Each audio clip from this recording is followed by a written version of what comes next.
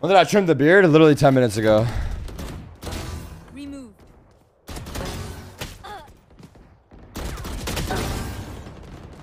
All right, today we have to win everything.